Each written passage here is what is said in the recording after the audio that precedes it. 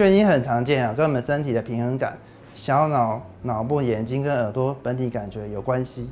当我们这些平衡的讯息进入我们脑部呢，当它不平衡的时候呢，我们身体没有移动，就会感受到移动的感觉。这种情形呢，称之为眩晕。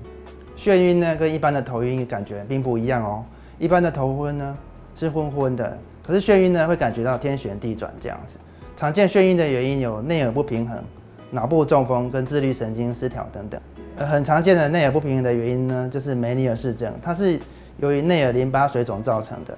由于内耳淋巴水肿呢，会导致听力出现的异常，那也会让内耳的平衡出现异常，所以这些患者呢会出现耳朵闷胀，然后进而发生眩晕。那梅尼尔氏症呢也会反复发作，最后导致听力的异常。另一个会造成眩晕呢，叫做中枢性眩晕哈，它是由脑部的病变引起的，像是小脑呢或脑干的中风。那这些呢比较困难的诊断，常常呢只有眩晕的表现。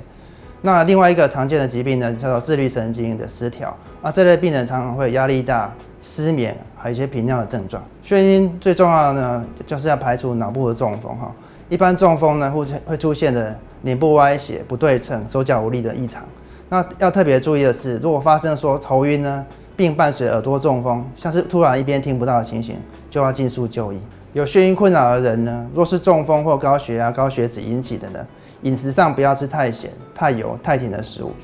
若是内有不平衡所引起的，如梅尼尔氏症所引发的，像一些奶制品啊、番茄、柑橘类、巧克力等食物都要尽量避免，因为在食物中有特别的一些氨基酸会诱发眩晕。更重要的是，生活作息要正常，不能熬夜，因为失眠、熬夜哈，压力大是一般眩晕的危险因子。